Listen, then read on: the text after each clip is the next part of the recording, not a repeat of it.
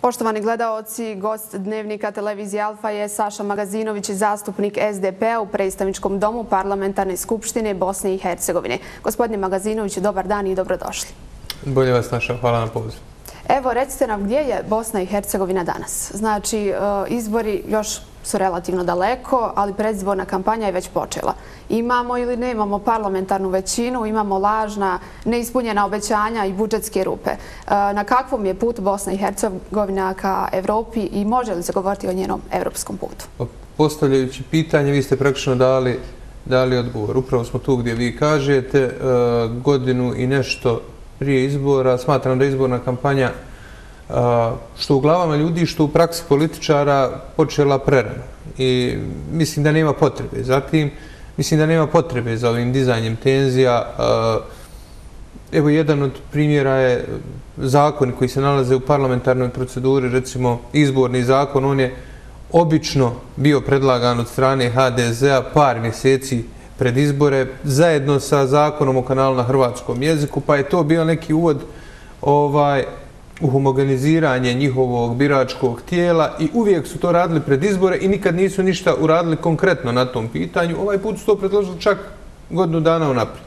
Mislim da je prerano su svi krenuli.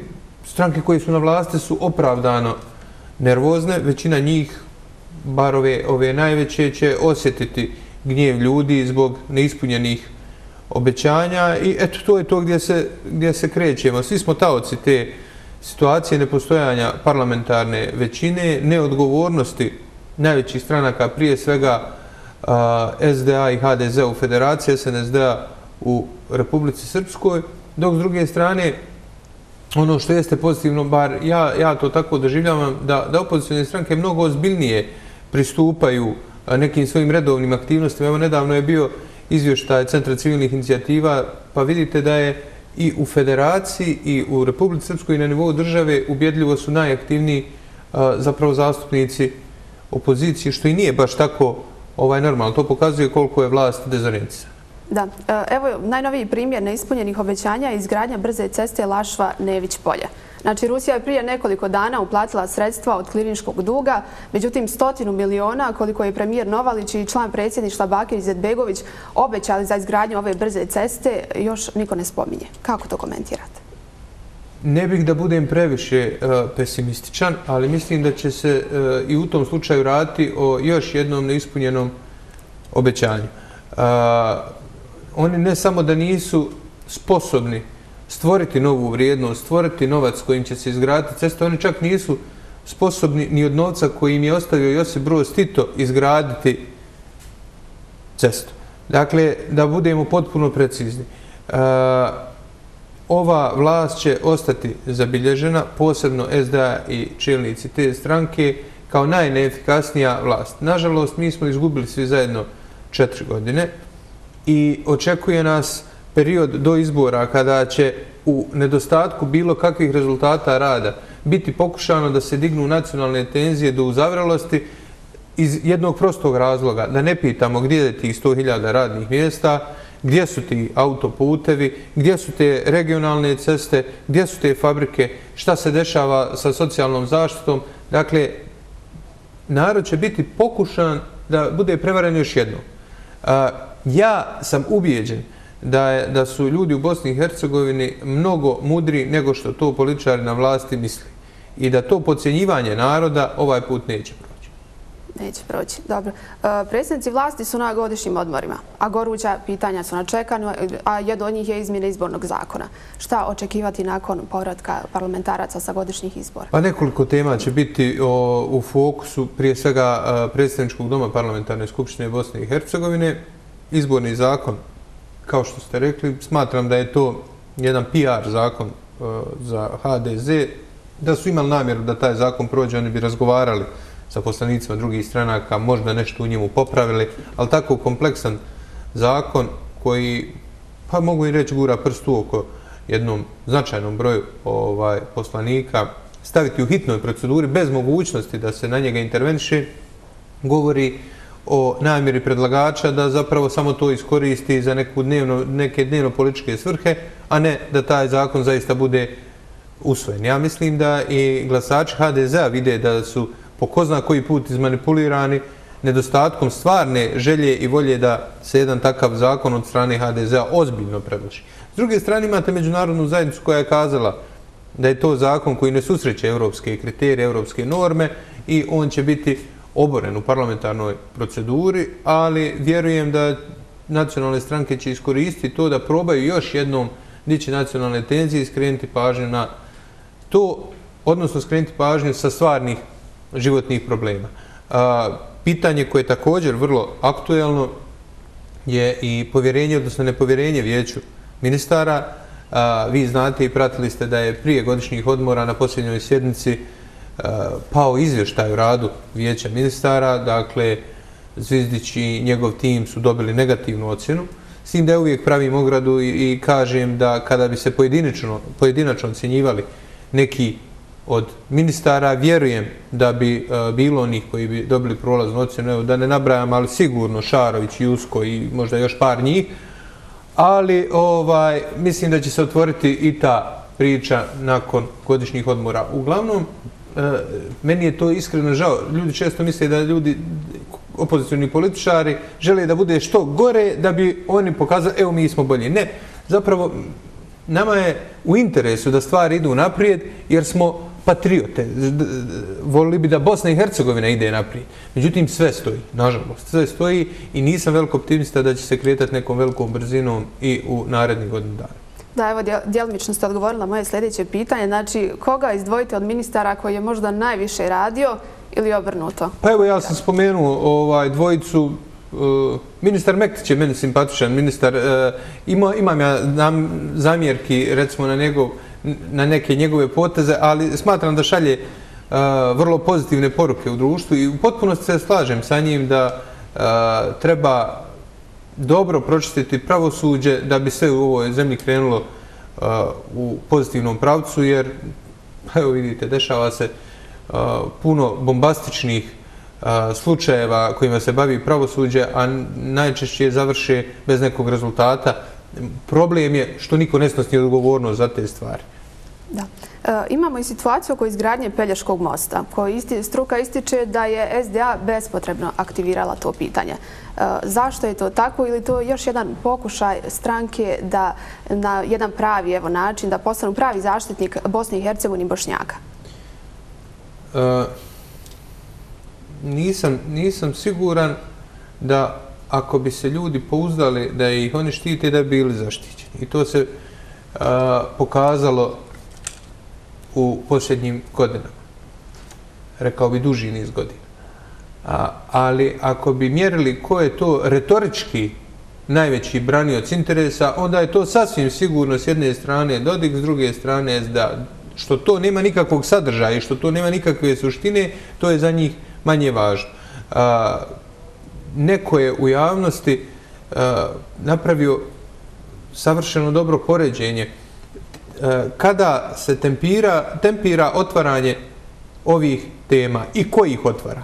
U ovom slučaju SDA i čelni ljudi ove stranke koji su zadnjih 20 kusur godina na ključnim pozicijama i nisu učinili ništa ili su učinili nedovoljno da se išta riješi po pitanju Pelješačkog mosta. E sad, to pitanje po meni nije nepotrebno da, da se sa njim bavi parlament i drago mi je da će biti otvorena tema u parlamentarnoj skupštini Bosne i Hercegovine na prvoj narednoj sjednici, jer smatram da Bosna i Hercegovina mora imati otvoren prolaz na, na otvoreno more, da ne može niko to spriječiti, da se moraju poštovati međunarodne konvencije i da u tom smislu treba izvesti na čistac da li je neko i ko je taj ko je dao Hrvatskoj saglasnost za ovakav projekat. Dakle, puno je stvari koje su netransparentne inače u javnosti. Podsjetit ću vas da smo mi recimo svi zajedno i, i čak i parlamentarci i javnost saznali da je usvojen mehanizam koordinacije mjesec dana nakon što je taj dogovor postignut i nakon što je držan u tajnosti. Ne bi me začudilo da kao što smo u slučaju revizije presude Haškog suda bili svi zajedno obmanuti, da je i ovdje sličan slučaj da se od čitave javnosti kriju neki detalji i mi to moramo saznati a, a, a da nam je svima interes ne zbog nas, nego zbog onih koji će doći sutra i budućih generacija da Bosna i Hercegovina ima nesmetan prolaz na otvoreno more i da niko ne pregleda ovaj, jeli, osim nas brodove i, i a, teret koji dolazi u Bosnu i Hercegovinu, to je, to je činjenica veljda oko koje se svi slažemo. Da. Evo kada ste spomenuli Hrvatsku, kako komentarišete ovaj pokušaj da eh, dakle, povećaju cijene naknada za inspekcijski nadzor voća i povrća koji se uvoze iz trećih zemalja? Hrvatska je pokušala na jedan vrlo uh, nevješt i, i pogrešan način da zaštiti svoje poljoprivrednike. I s te strane oni imaju podršku među poljoprivrednicima u Hrvatskoj s tim da i oni kažu nemojte nas štiti na ovakav način jer će nam šteta biti veća nego korist. Uh, drago mi je da sam vidio da u regiji postoji e, ta koordinacija, da su e, ministri iz zemalja koji su pogođeni tim sankcijama vrlo brzo komunicirali. Svako se odlučio na svoj potez. Srbija da odmah uvede kontramjere. Bosna i Hercegovina da to proba riješiti diplomatskim putem. Glavno je da je rezultat postignut. Ja mislim da u narednom periodu će bilo ko kome padne na pamet da uvodi van carinske barijere, na ovakav način dva puta razmisliti prije nego to uradi, jer je na ovom primjeru vidio ovaj, kakva, je, kakva je to reakcija. Da, Ipak smo mi značajno tržište, iako smo mala zemlja, ali za Hrvatsku smo značajno tržište, kao što je i Srbija vrlo značajna zemlja za, eh, kad je u pitanju trgovinska razmjena i mislim da se u, u narednom periodu neće usuditi da na ovakav način pod navodnicima štite svoje proizvođače. Da, evo, malo prije ste spomenuli Dodika. Imali smo nedavno njegovu, jeli, neke ustaljene izjave o ujedinjenju Republike Srpske i Srbije. Konkretno deklaracija o opstanku Srba Vučić-Dodik. Kako to komentirate? Hmm.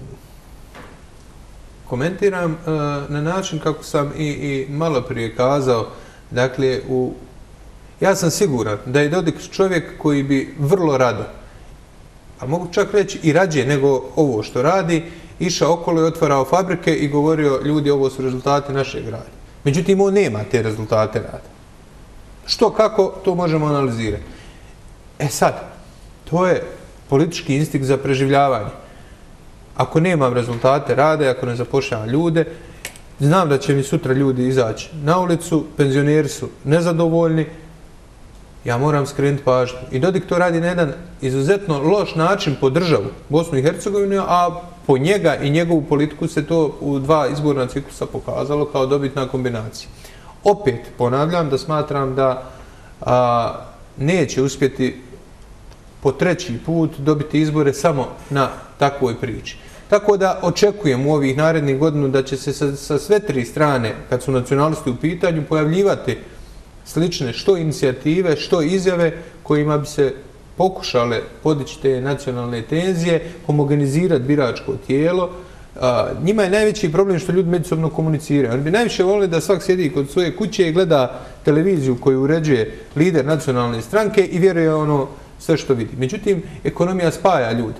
Evo, ovdje na primjeru Sarajeva vidite koliko kompanija iz istočnog Sarajeva radi u Sarajevu i koliko kompanija iz Sarajeva ima poslove koje završava tamo. Dakle, to kad krene, a kreće sporo, ali ide, ovaj, oni neće imati nikakve šanse. Dakle, ekonomija prije svega i, zbog toga ja i, i smatram da značajan broj nacionalnih lidera a, spriječava te integracijske, integrativne procese u Bosni i Hercegovini i to stalno ponavljam, što smo bliže Evropskoj uniji, oni su bliže zatvoru. I njima je to jasno. I zbog toga je ova ručna kočnica kod svakog od njih podignuta na posljednji zub. Da, evo, na kraju našeg razgovora mogu da ne pitam uh, pitanje Tašlihana. Kako je cijela ta priča uh, počela i kakva je njena sudbina? Evo, da prokomentarišemo i to. To je još jedan od primjera netransparentnosti naše vlasti, u ovom slučaju predsjedništva Bosne i Hercegovine, koje je e, na sjednici kojom je predsjedavao gospodin Bakir Žadbegović, koji je potpisao tu odluku, e, da, da budem precizan, istovremeno i grub, otjeralo strance iz komisije za očuvanje nacionalnih spomenika. Mali je problem što je pozite od pet članova dvoje dolaze izvan Bosne i Hercegovine i to je Dejtonska kategorija propisana aneksom 8 Dejtonskog mirovnog sporazuma. Mi smo to također otkrili nekoliko mjeseci nakon što se to desilo. i visoki predstavnik je relativno brzo odgovorio na, na, na pitanje koje sam postavio, tvrdivši da je, što se međunarodne zajednice tiče, ta komisija nepopunjena i da očekuje imenovanje dva, dva stranca. Šta smo saznali kasnije? Da prva odluka koju su donijeli bez stranaca je da temelje spomenika iz nacionalnog spomenika iz 16. stoljeća pretvore zapravo u prostor na kome će se graditi poslovni prostor. I to je ta priča o Tašlihanu oko koje se na moje lično zadovoljstvo podigla prije svega stručna javnost i vrlo jasno i artikulisano iznosi svoje stavove. Ja mislim da 200 ili, ili koliko već će biti kvadrata poslovnog prostora na baš čarši, nije vrijedno rušenja Dejtonskog mirovnog sporazuma. Jer na način kako je predsjedništvo jednoglasno prekršilo Dejtonski mirovni sporazum u aneksu 8 koji propisuje rad Komisije za očuvanje nacionalnih spomenika, ne trebaju se čuti ako neko prekrši aneks 4, ustav, aneks 7, pravo na povratak ili bilo koji drugi. Mislim da, da takve odluke predsjedništva dovode ovu zemlju u stanje anarhije, a mislim da to niko ne želi. Da. Evo, e, na posljedku u nizu absurdnosti u našoj zemlji ne može se ne spomenuti slučaj sa graničnim policajcima, odnosno uvjetima u kojim oni rade. E, nije li poražavajuća činjenica da prvi čovjek koji dočekuje na ulazu ili izlasku iz zemlje nema osnovne uslove za rad? U ovom slučaju prostor za izvršenje osnovnih higijenskih potreba. Upravo ste u potpunosti. Dakle, ja sam tu priču pokrenuo sasvim slučajno tako što Eh, inače komuniciram sa, sa, sa velikim brojem ljudi i na raspolaganju sam da budem glasnogovornik različitih grupa građana u parlamentu ako postoji neki problem da ga iznesem. Jedan od tih problema je upravo i problem ljudi zaposlenih u graničnoj policiji Bosne i Hercegovine. Svi smo mi svjedoci da dođemo na granične prijelaze, na šta to liči. Ali ono što ja recimo nisam znao da neki granični prijelazi nemaju WC. I da naši graničari uh, nuždu obavljaju ili prelazeći e, kod kolega u kućice sa hrvatske strane ili, nažalost, negdje van. Dakle, to je, to je ogromna sramota i, i zaista nije mi preostalo ništa drugo nego da glasno otvorim tu priču. Evo, mislim da će i biti nekih rezultata, ali e, nije samo to problem. Problem je da uprava za indirektno oporezivanje koja je nadležna da oprema izdvoji novac za granične prijelaze, zapravo to ne radi na način kako bi to trebalo i od onog zahrđalog jarbola, e, pocijepane ili prljave zastave, pa do onih kontejnera koji zaista nisu reprezentativni, na, na, a jesu prvi, prva slika Bosne i Hercegovine kad neko ulazi u našu zemlju, ovaj, zaista se tu nešto mora uraditi i vidim da i, i javnost i sama granična policija i kolege parlamentarci su pružili podršku toj mojoj inicijativi i mislim da ćemo nešto napraviti, da napravimo neki pomak. Da. Gospodin Magazinić, hvala što ste izvojili vrijeme za našu televiziju. Hvala vama na poziv. Gost televizije Alfa bio je Saša Magazinović, zastupnik SDP-a u predstavničkom domu Parlamentarne skupštine Bosne i Hercegovine.